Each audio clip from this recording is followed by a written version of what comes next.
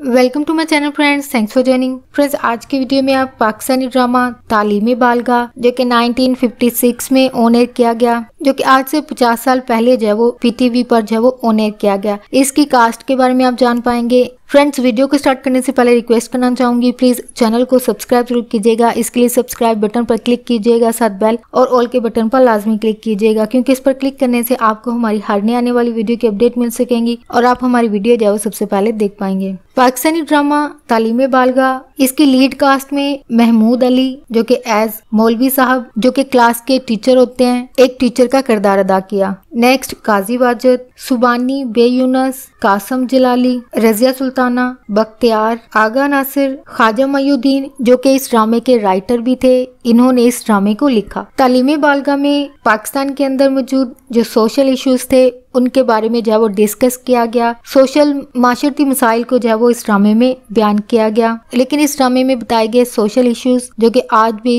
लोग इसको फेस कर रहे हैं, आज भी हमारे माशरे में मौजूद है। तालीमी बालगा, जिसको एजुकेशन फॉर एडल्ट कहा जाता है, यानी ऐसे अफराद जो कि अपनी ज़िंदगी में कुछ हालात की वजह से तालीम को पूरा नहीं कर पाते हैं तो उनके लिए मुल्क में ये एक प्रोग्राम बनाया गया। बड़ी उम्र के अफराद को जो है वो तालीम दी जाए, और इसको तालीमी बालगा जो है वो कहा जाता है। तालीमी बालगा टीवी सीरीज़ को जो है वो, इसको 1966 में जो है वो ऑन एयर किया गया और पाकिस्तानी टीवी चैनल पीटीवी पर ऑन एयर किया गया। और इसको ख्वाजा मयुद्दीन ने लिखा। अगर इस टीवी सीरीज़ की प्लॉट स्टोरी लाइन की बात की जाए, इसकी कहानी जो है वो एक मदरसा स्कूल के इर्द गिर्द जो वो घूमती है। और इसमें जो तालीम दी जाती है, उसको तंजो मज़ाक के ज़रिए माशरे में मौजूद जो माशरती मसाइल हैं, उनको जो है वो उजागर किया गया। ये ड्रामा सीरीज़ जो है वो मोहम्मद अली जना कायद आज़म, इनके तीन असूलों पर जो है वो मुश्तमिल है। और ये तीन प्रिंसिपल असूल जो है वो यूनिटी फेथ और डिसिप्लिन है।